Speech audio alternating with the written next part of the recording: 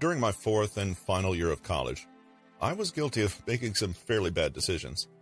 Some of them are unfit to be public and involve cans of spray paint and silly string. But one of them was about the apartment I shared with my friends. We'd been looking for about two weeks for a new apartment because our current place was starting to show its age and our lease was almost up. We viewed listing after listing and attended a few open houses until I finally couldn't take it anymore. No one could make a decision about anything. It wasn't so much that we needed the place, but I was frustrated and my impatience took over my brain. I took it upon myself to speed up the process and push a decision.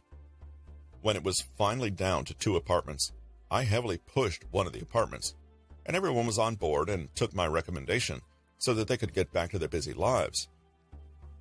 At first glance, this sounds like a story about decisiveness and taking charge, but it's really quite the opposite. One of my roommates had a dog, a little chihuahua named Banana. That was our apartment's mascot. Every other apartment we looked at was completely fine with dogs, but the apartment I chose was most definitely not.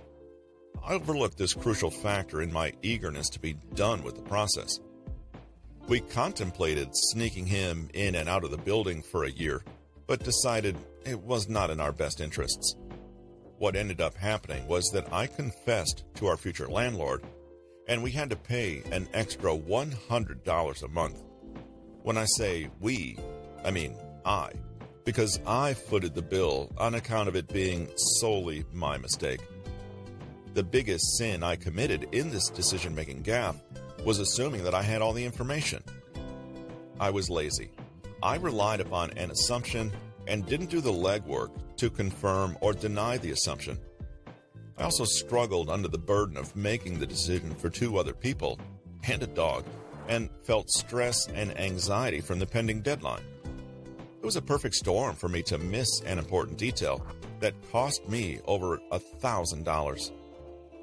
Decision making isn't necessarily an art form, but there are very specific ways that human beings can make incredibly suboptimal decisions without even knowing.